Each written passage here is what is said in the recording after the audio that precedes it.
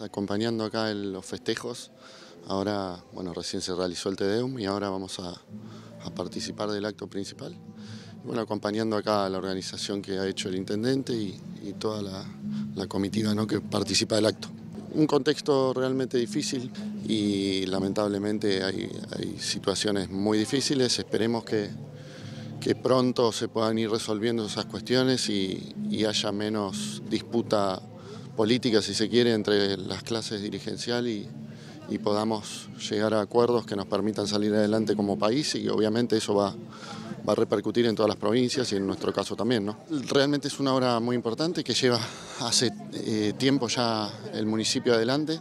Para la ciudad, obviamente, todo lo que se ha hecho en materia de obras, sobre todo en renovación de, calles, de asfalto, de, baches y toda este, esta renovación de la calle Kirchner es muy importante para el turismo, para el sector comercial y para todos. Así que muy contento, es una obra que venía desde hace muchas gestiones, se venía pidiendo del sector comercial y bueno, que se pueda realizar y hoy inaugurar una fiesta realmente.